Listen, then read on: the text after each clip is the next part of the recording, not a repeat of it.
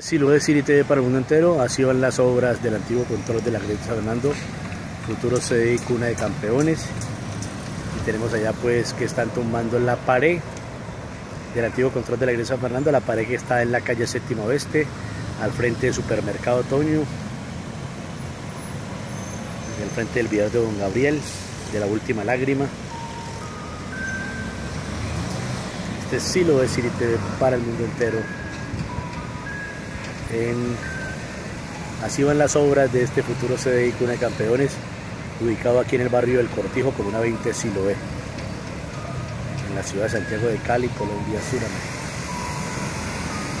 Así van pues las obras.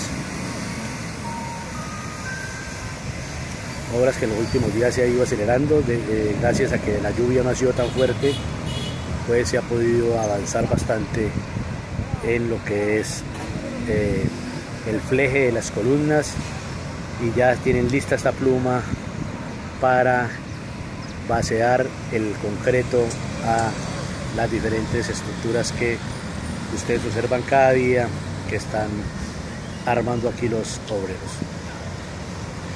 Este sí lo es City TV para el mundo entero. En así van las obras en el antiguo control de la Grecia Fernando Futuro se ve una de campeones.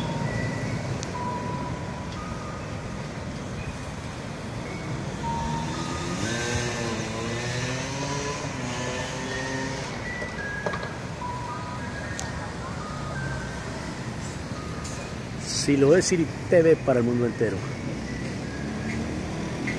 Día número 96 de los trabajos acá en el antiguo control de la Iglesia San Fernando.